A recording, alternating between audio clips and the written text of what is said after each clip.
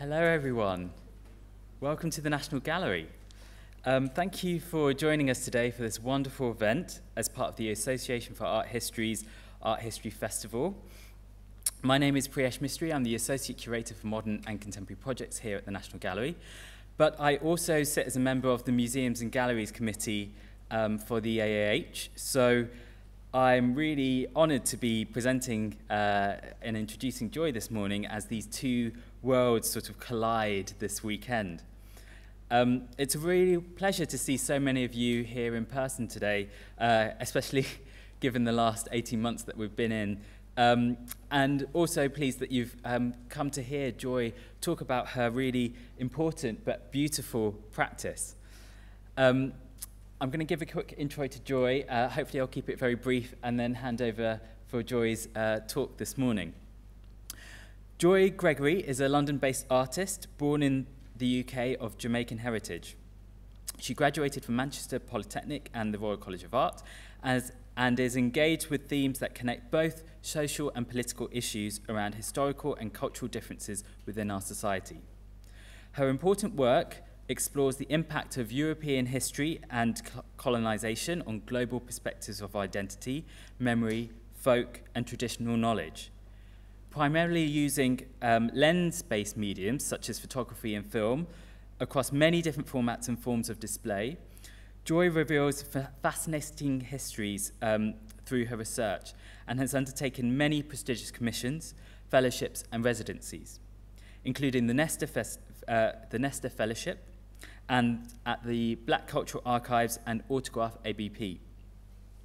She currently teaches fine art photography at Camberwell School of Art, University of the Arts London, and has been honorary research associate at the Slade School of Art at UCL.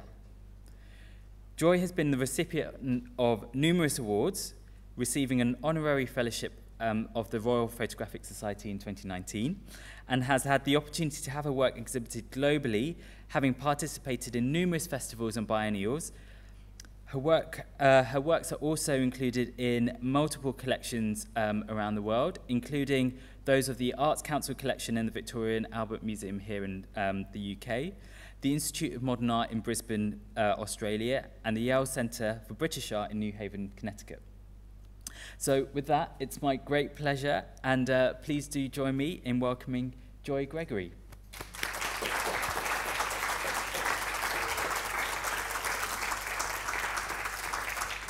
Thank you so much, Priyesh, for such a wonderful introduction. And thank you all so much for coming here this morning. And I, I mean, for me, it's quite early, so I hope, I don't know if it's early for you too.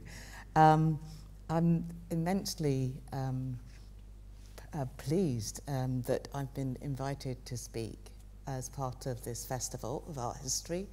And um, I'm obviously not going to talk about all my work because I've been practicing for such a long time, but I want to talk about uh, particular stories um, within my practice um, and stories that I've been told.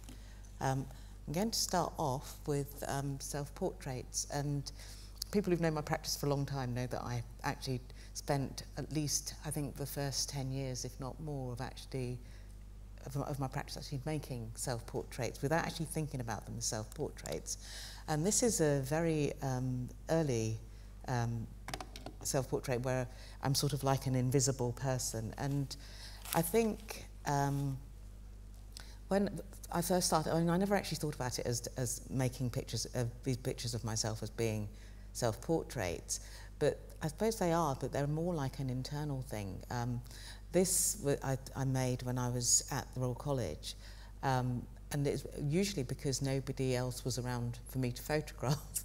Um, so I ended up putting myself in the picture. But I think about, think, looking back at it now, um, I spent much of my early um, life uh, trying to disappear um, because I grew up in a small town where we were one of um, very few black families. Um, and you know, if you ever did anything wrong or if you ever did anything exceptional, or not even exceptional, just anything very normal, um, people would always know that it was you and they could tell your mum or, or, you know, and, and like at that age, you just really want to be like everyone else and I could never be like everyone else. So um, I suppose the, the work that I was making at that stage was sort of like a reflection of, of that. And, and even when I was making these um, constructed interiors. I wasn't a great person for going outside and making pictures, and I quite like the idea of being able to combine um, painting um, with photography, and so I spent ages doing building these sets and then painting them.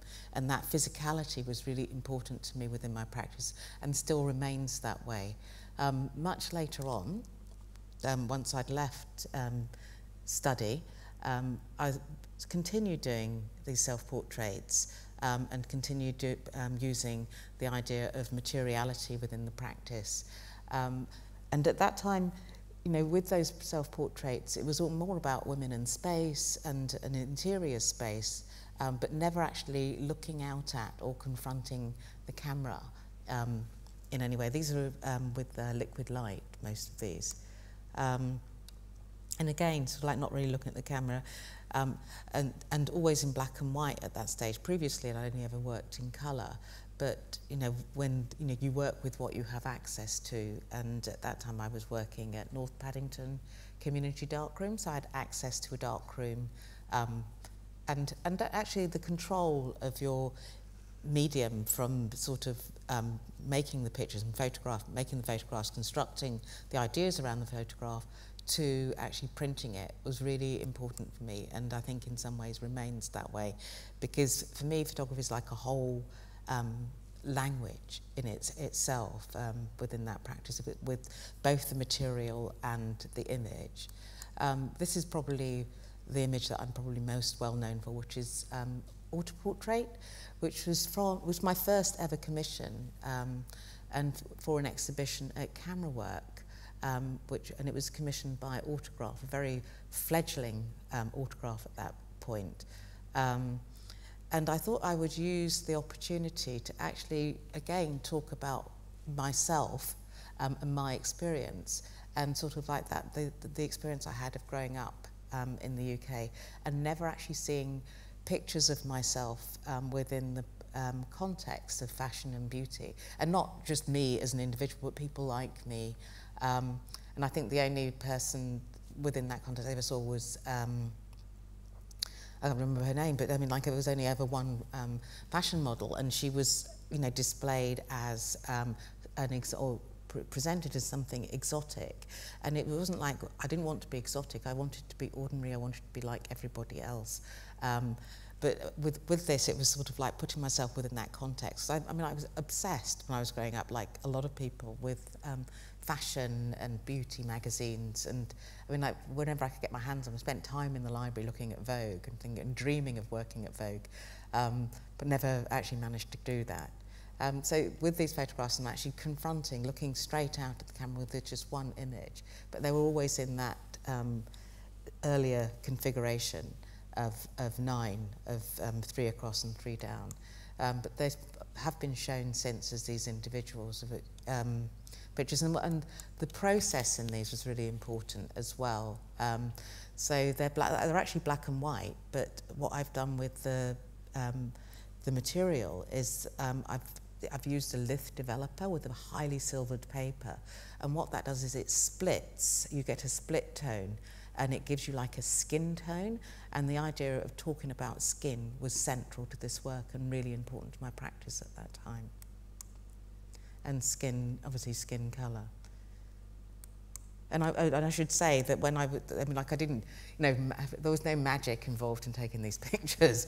I actually worked with um, another fellow photographer, um, Christina Pisa, who, and so I set it up with Christina in the picture. And I had to think about how I did it before, and I've done it again since that. And then I would go and stand in her place, and she would actually press the shutter. Um, these ones are, are with a, a cable release and that they when I was traveling a lot. And I tended to take pictures when I was traveling a lot. Um, but I did continue taking these self-portraits which I then moved into um, other parts of my practice. So this is from a series of works called um, the Honeymoon Project. And it came out of um, um, a project I was working at, um, not a project I was working at with students at um, Staffordshire University, well Staffordshire University now, Stoke-on, it was Staffordshire Polytechnic at that time, um, and we were invited to participate in um, a project with an artist called Meralda, who was doing work to celebrate um, the 1992 Olympics in, in, in Barcelona. So we went and um, became part of his honeymoon project. Uh, and this is work I produced for that.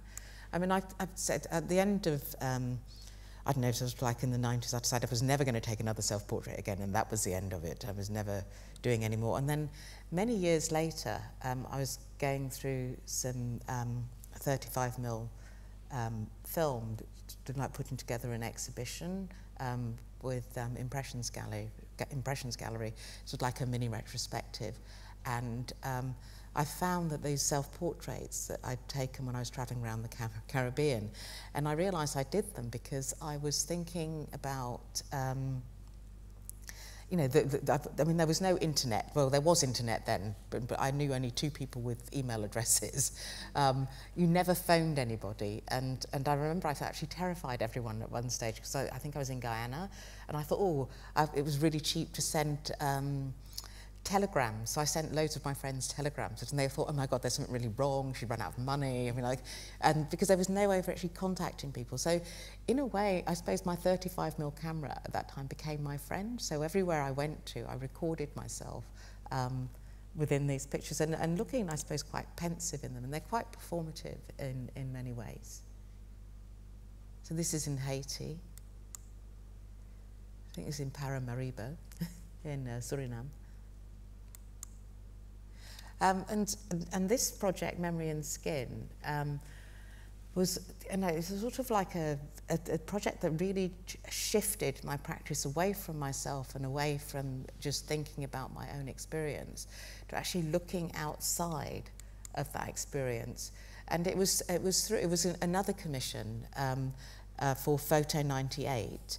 And um, and I was quite, I feel I was quite lucky at that stage. I got money for the commission for Photo 98, so that was the money. Then I also got some money from the Art Foundation um, because I'd won the prize for photography that, that, that year. And I was like, oh my goodness, I thought I can actually go and do something that was quite ambitious. And so I decided, and, I, and it was recent, it was not long after I'd actually been to um, Jamaica with my parents on my first ever trip to Jamaica. So, so like Jamaica for me was like this um, magical space that I would never ever get to enter.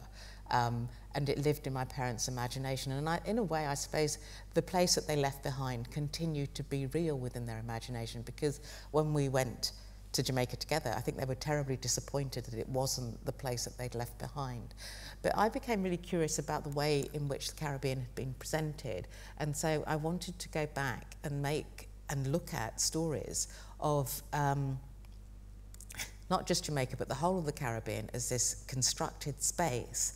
Um, but to, to look at the relationship between Europe and the Caribbean, and that was the basis of the work that for, for Memory and Skin. So I travelled to Haiti, I went to Havana, and, and, and just sat down and, and listened to people's stories. I mean, I mean, and, I, and I've sort of based myself mainly in, in Havana and in, in Cuba, um, just because it was the easiest way to actually get around the Caribbean. The thing about the Caribbean, it has, um, so it's very, I mean, like it, I suppose, uh, in relative terms, it's actually quite a small space um, that goes from sort of like up by Miami and then all the way down to um, to Venezuela, to you know, to, to South America. So it's it's it, it, it's a bridge across all of the Americas, but it's incredibly divided by language, by geography, and the impossibility of being able to get from one place to another. So every time, I think even now, if you want to go um, say to, I don't know, from Jamaica to Trinidad, you have to either go through um, America or you have to come back to Europe. You, you can't just go. and the only place that I could actually work out to do that was actually from Havana, which was like really strange because it was like the, almost a pariah within the, the Western Hemisphere. Anyway, so I did that, did that and, and I discovered lots of different things about um, the impact of um, colonialism, but also how people actually saw themselves. So, and, and also how people behave. So these are like, at that stage in Havana, it was really difficult to get hold of. People didn't have plastic bags. People didn't have food. People, you, know, you, know, you didn't go shopping. So to have a plastic bag, which these are all drying in the sun, was a sort of um, like a status symbol.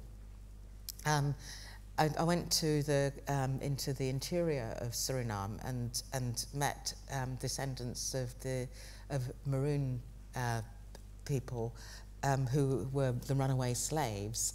Um, but, but then the people who took me there were missionaries, and they, there was like this exchange thing that goes like you'd shift your um, religion and we will, you know, provide you with education, healthcare, and, and, and so it's all very, I mean, like it, I think people know that it's not for real or whatever, but it, it, it, it for me it was quite disturbing that these things were still going on um, in, and, you know, in, in my lifetime. Um, again and looking at other people at people's family snaps and things and so what I was doing was like creating visual stories and not um, actually putting any text or saying any stories around that, but letting people read their own things into that, except through um, except through um, sort of like the text which was in the cabinets that I showed, um, which I'll, I'll, I'll, show an installation of the work a little bit later. Um, and then obviously from the other side, sort of like the black presence within Europe, or the and, and I'm not saying black, but sort of like people from around the world, but had come from the Caribbean or from Asia that were in, in Europe. And, and the people that remained behind in, um, in the Caribbean to sort of like, you know, so Elfrida was a curator. There were very few curators, very few critics. Um, and Romana, Romina, who couldn't understand why I couldn't speak perfect Spanish. Um, so yeah, no, so right. I mean, like I didn't really take my camera out until like, you know, several days into a conversation um, because I wanted to try and capture the story as well, and the people and for people to feel comfortable around me as well. Um, so, you know, Florence was a, was a very well-known artist um, who was based in Havana. And, and this is the first iteration of the exhibition, um, which was at Huddersfield Art Gallery. Um, and the, the work travelled and was incredibly well received. And, it, and I'd never done work like that before. So it, when I imagined making it, I was imagining making a, a single installation. Um, whereas in, a, a, a, a series of photographs, whereas in fact I ended up making an installation with lots of objects um, inside it. I realise I'm, I'm going to run over time, so I'm going to run through some of these quite quickly. So the, and each of the cabinet, there were nine of them actually related to a, a major issue within the Caribbean, so skin. And then I made this wall of Proella, which um, the blue was the representation of the, the Atlantic, and the little crosses was from a story um, where, where um, if, on the island of Ouessant, they, if they it was a fishing island. If they didn't have a body to bury, then they would use one of these as a representation. And so I made hundreds of them um, in different skin colours to, to show the, or to represent the um, shift um, of people's um, lives and experience of generations down in the present um, as, you know, that, that's been caused by the uh, European expansion and colonialism within the Western world. And I also made a little film called um, Memory and Skin, which I'm going to show you a little of now, um, I hope. mm, yes. Right. I'm going to read some of the texts from the cabinets. Um, Havana, Cuba, 1997. We go to eat at a peso restaurant. The waiter refuses to serve me. He thinks I am Cuban and he does not like the colour of my skin. The Dominican Republic tells the story of its own brown colour, where the taint or tint is created from a mixture with the Indian. The Aboriginal people of Hispaniola were wiped out by the arrival of the Europeans. Central to this tale is the rejection of the Negro. Trade routes. In the 16th century, one in ten of the population of Lisbon was of African descent. In the Americas, Europeans repeated what they had created in Africa. One group of people would toil while another reaped the profits. This is the origin of the exploitation colony. Yard. The yard is a dense melting pot that cooks together several religions and beliefs, new worlds and dance steps, unforeseen dishes and musical styles. The yard is a result of the plantation and home to those to all those who left behind another life to seek their fortunes or to just survey. In the yard, people are born and they die. They recite verses, they argue, they listen to the radio, they gossip, play cards or dominoes. The yard is the major cities of Western Europe. Tobacco and sugar. to smoke from the same pipe, to inhale snuff from the same pouch, to exchange cigarettes, all of these are rites of friendships and communion, like drinking the same wine, of breaking the same bread. Sugar is the child of capitalism and scientific measures. The cane field equals units of surface, sugar and stalks equals weight, liquor plus molasses equals volume, ovens plus boilers equals heat, crystallization, viscosity. Memory. On the French island of Ouessant, there is a ritual which involves the making of a wax cross to represent the body of a lost one at sea. This cross is called a proella. In the case of extreme tragedy, one proella can represent thousands of souls. Memory is said to be individual. The voices may differ from one to the other, but what is, is expressed is collective. As I walk past the candles, I am seized by a great urge to blow them out. Trade too. All beautiful things have sad destinies. Jane Rice. Marigot, Haiti, 1997. I'm talking to a woman about her life when a group of men approach. They tell her she is not to speak to me as I'm a journalist. They do not believe I am an artist. Artists sing, draw, and paint. Journalists make money out of their misery. They have spoken to many journalists, but their lives never changes. All beautiful things have sad destinies. While Carlos and I wait for the truck to take us back to Jacmel, a giant jeep zooms in search of a story. The huge wheels churn dust all over the freshly laundered clothes of the villagers. All beautiful things have sad destinies. Land. The taking of soil from home with you on a journey ensures that you will return the Caribbean young blacks often refuse to do agricultural work because of its association with slavery. Yet a small plot of land for the slave represented free time and something re that remained of the family name. The military invasion of the Falklands was a reminder to all tiny islands are vulnerable to the lust of outsiders. The US invasion of Grenada signaled the end of centuries-long loyalty to Great Britain from its former, from its former Caribbean empire women. Women of the Caribbean, both black and white, had to be socially constructed to facilitate the agro-commercial for enterprise. Landless white women sold into the state, by the state into colonial servitude. Landless white women unfit for marriage by propertied males and disqualified from domestic service. Landless like white woman dismissed manual labour on the plantations, where she socialized intimately with the slave, enslaved community landless white woman, she set up her household with an enslaved black man. Their children were born free, unlike their cousins born to their black aunt. Food.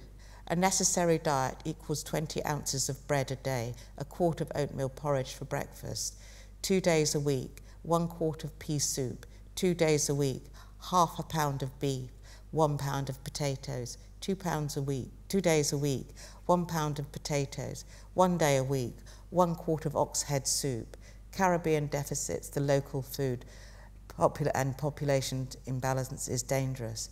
The cause of this is centuries of preoccupation with cash crops and introduced overpopulation, degraded physical environment. All this can be traced back to colonial control. Uh, Lost Histories um, is one of the works that actually came out of the research that I did in the Caribbean. And it's not so much the research as sort of like looking at things, but it was the research in, in terms of how it changed me and changed in how I looked at things. And so Lost Histories was like a series of um, small narratives, very tiny pictures, um, which I showed in, um, in, in Cape Town at the National Gallery. Um, because I thought I needed to make a work which actually wasn't something that was transplanted, that actually had a relationship with that space. But so I thought I had to make something that all colonized people could relate to. Um, and, and it was a, and each one just had a title. So this one's sort of like to seek a position. Um, and this one is sort of like Families Too, where people would bring their own stories and their own translation into that space. Um, and I think the same with Cinderella Tours Europe. Cinderella Tours Europe came out of um, memory and skin. And, well, not so much memory and skin, but the stories I um, heard when I was there of the so many people in the Caribbean that, you know, knew everything about Europe, but yet people in Europe knew very little about them and their lives. And they, and I wanted to make like these picture postcards. And so these shoes were almost like the people I interviewed wrapped up who would never have a chance to come here to do a tour of Europe, the same as the Grand Tour that was done in many centuries earlier by privileged people. And they were all places that were instantly recognized. Um, and I'm, I realise I'm running out of time quite quickly anyway. But um, so th this work, um, Science of Africa, um, I was came out of another commission where I was asked if I would, um, for an exhibition in, um, in Barcelona, if I would make um, a piece of work or make some pictures, or go and take some pictures, actually go and take pictures of the African presence in, in London. And I thought, yes, well, what you're asking me to do is, is definitely different from what I'm going to do. So I know that what they were, they were asking me to do, because they'd commissioned um, photographers in every major city of Western Europe to go and take photographs of the African presence. And what they wanted me to do was to go down to Brixton Market and take people pictures of black people shopping. But I thought, I ain't going to do that. Um, so I thought, well, I'd, what I'd like to do is talk about the African presence in London in a historical sense and went back into the archives and, and, and then also went and photographed the sites that were uh, referenced within these archives around London and made the piece of work that was, um, I imagined being sort of like on billboards, but actually, you know, in reality, it was like we had a, each had a very small space within the gallery. But um, I think luckily, sometime later, um, this is not a gateway, actually did put make the, a few of them into posters which we put up in East London. But it was the idea of actually bringing together um, the past with the site and to, to talk about London having an extremely, you know, thousands of years of, of, of an African presence through trade and things, and, and, and to, to, to reflect on that and, and not to just think about people arriving just now.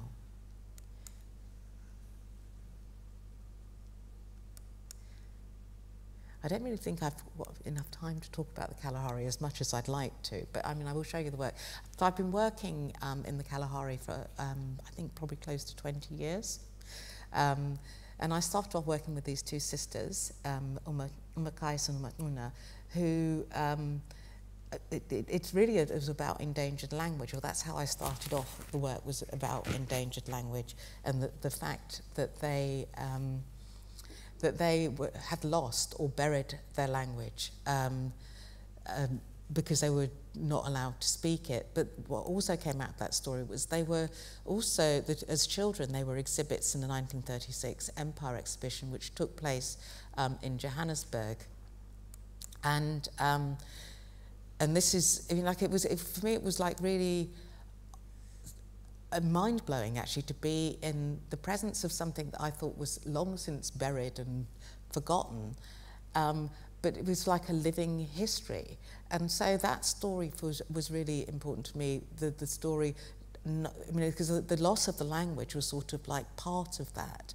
And, and when they went to, to, um, to, the, to uh, Johannesburg, the people that were, because they, they were treated almost um, like a, they were not almost, but they were treated like a curiosity. So they lived on a bushman camp. They did, uh, you know, bushman dances. I mean, like it was just um, insane. They were telling me all these things.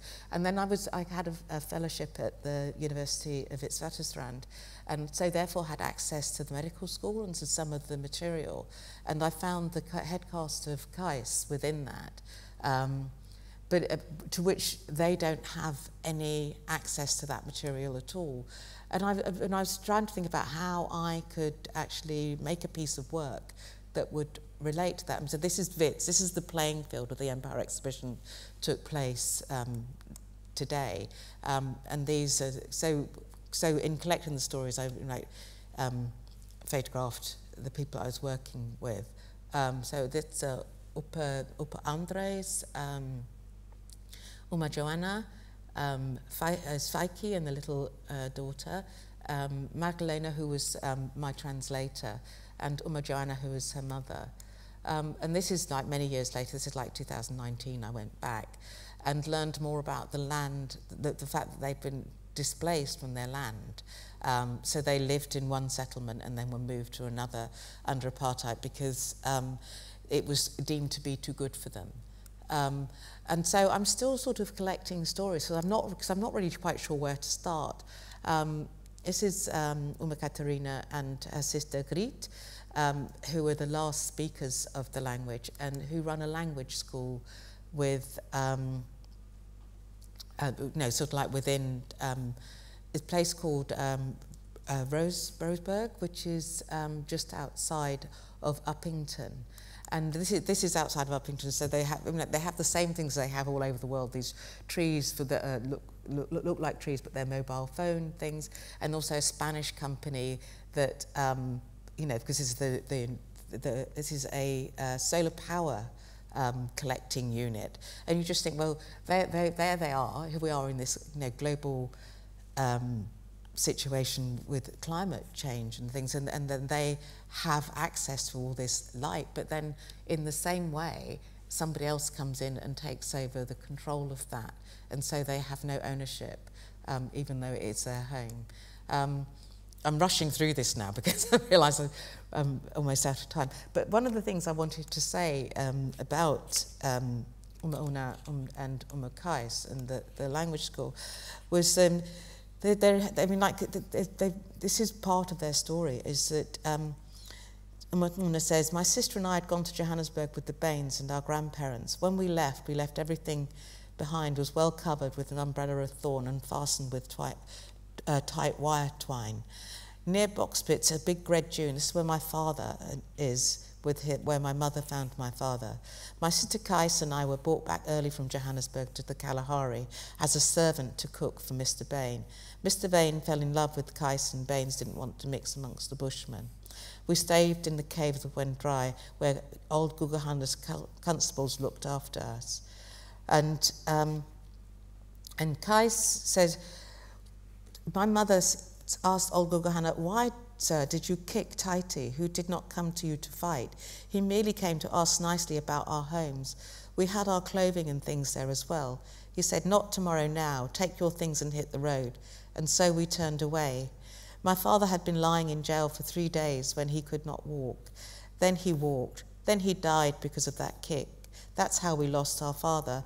And because they went away to the Johannesburg um, Empire exhibition, when they came back, they were thrown off. They used to live on, on, on what is now parkland, um, but they were thrown off the parkland and were forced to go and work for the local people in order to, you know, get food. Um, and, and they were also not allowed to speak their language, which is how the language is lost. And also because um, to be, and, and they, they do refer to themselves as, as Bushmen, to be, to, to be within that community is to, is at that time was regarded as, um, you know, to be lesser than a person. And, and, and you also have to remember, like in 1972, um, was it yeah, 1972, you were still allowed to shoot people. Um, oh, and they, you, so if, you, you're, if you're not allowed to live on your own land, and, and, and when, when I spoke to Andres, he said the saddest thing is that my mother and father could not speak, could always speak their own language.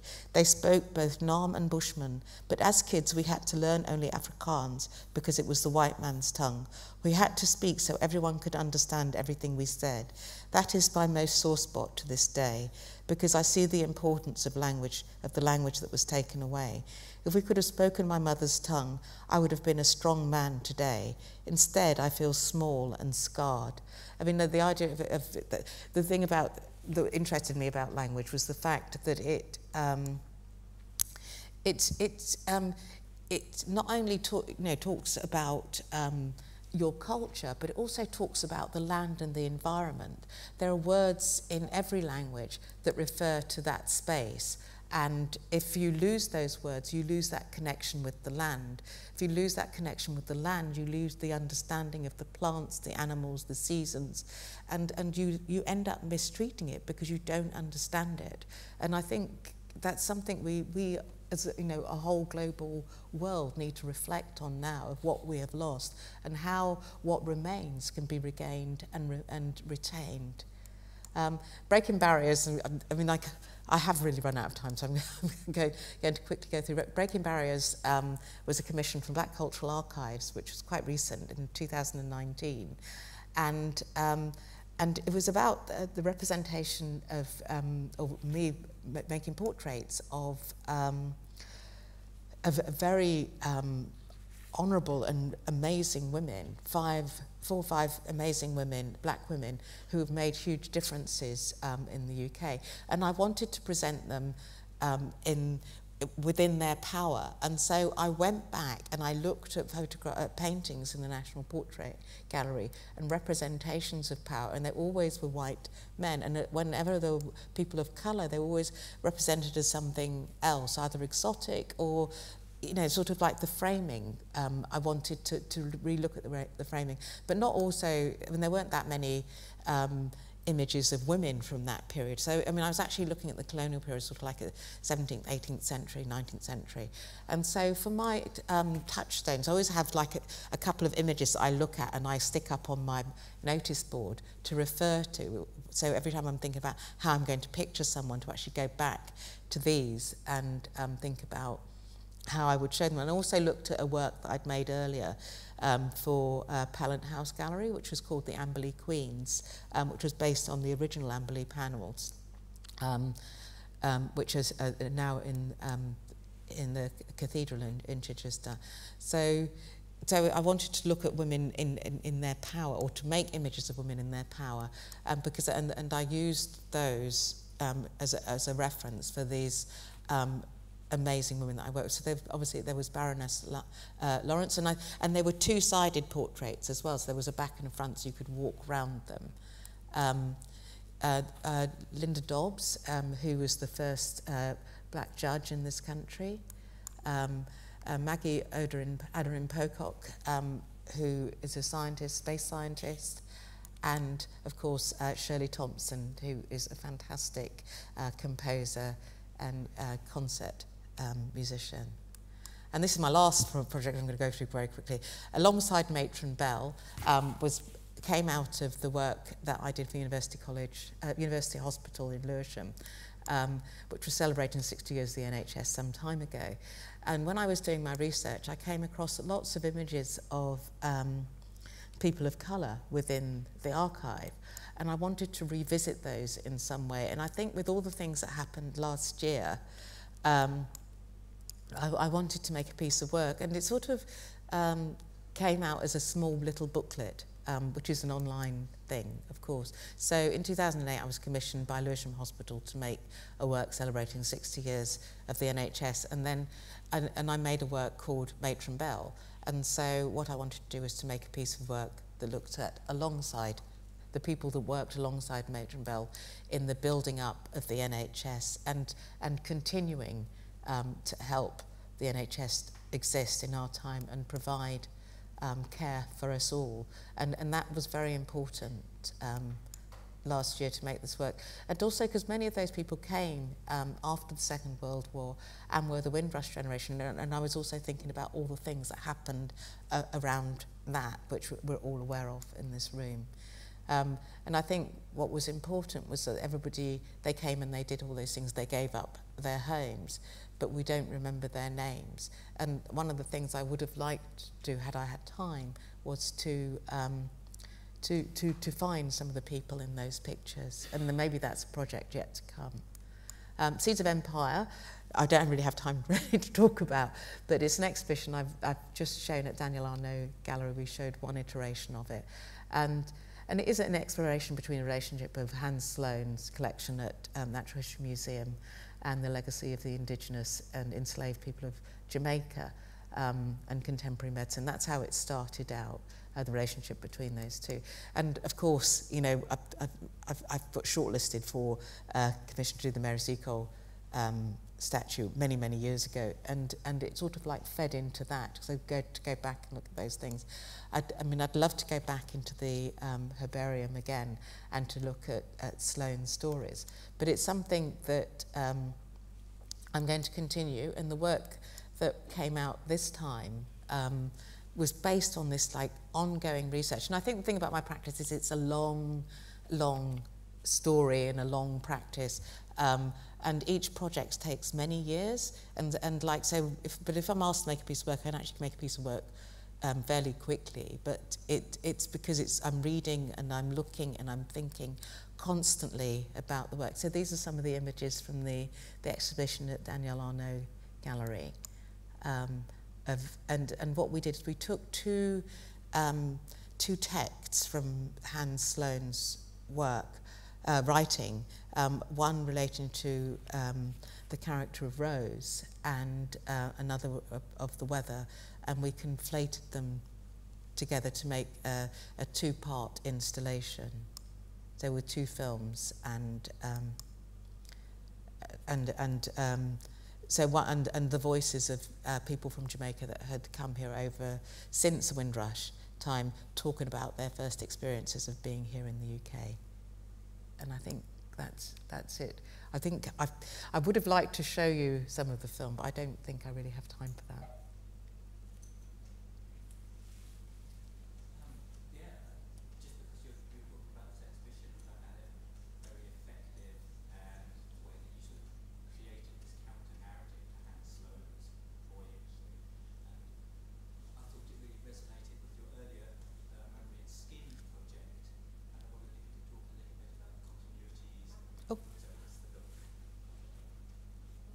To are we going to show some of the film? Um, there, I think there is, I mean, I think there's a relationship between the two. If you think that the Memory and Skin was made in um, 1997 and uh, A Little Breeze was made this year. Thank you, Danielle, for uh, enabling that to happen. Um, but I think because they pick up on similar issues, whereas uh, I think with Memory and Skin, it was me um, trying to, I, I suppose, understand or sort of like, it was my first experience of being in the Caribbean. I was like, and I was like a young woman traveling around with this backpack, and every country I went to was different but yet the same. Um, yeah, was, I mean, and that, but now, uh, but with um, a little breeze, we didn't go. We we did it here, um, but it was used. I mean, I suppose all the time, we're always drawing on that that knowledge um, and that experience. I mean, I, I mean, I say that um, the research for memory and skin was absolutely profound for me because, I, you know, when you, you stay in this island or you stay in Europe, um, you don't know what the experience of the world is for other people. It's sort of, I mean, it doesn't matter how many news reports you listen to or how much, how many films you might watch. It doesn't, it can't touch you in the same way as sitting on a pavement in the sun or in the shade with, uh, with someone telling you what, what their life is. Um, and I, and I, I think I was really shell-shocked when I came back. I was very emotional. I had to be met by someone at the airport. I was so, um, I suppose, so shocked when I came back here. We were going to show some. Oh.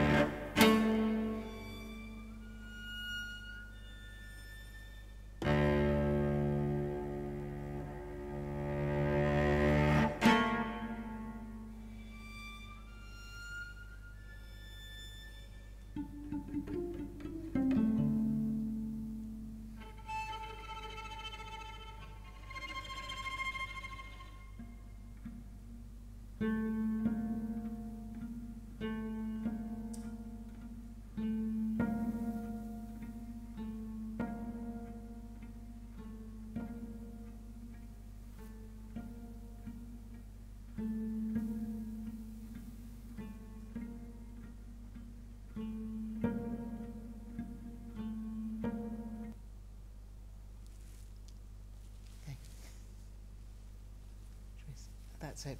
It was just a little clip, I'm afraid.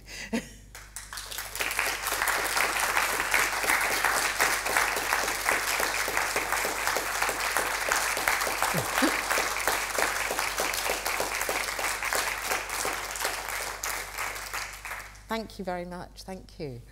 Um, I have run out of time, haven't I? But can we ask some questions? Um, I don't think we have time for questions, but you are around, aren't you, Joyce? So- Yes, I am around if people want to ask questions. Thank you so much, everyone, for coming, and thank you, Priyesh, for introducing me and hosting, and, and thank you, National Portrait Gallery, and um, uh, the Art Festival for inviting me. Thank you so much. Thank you.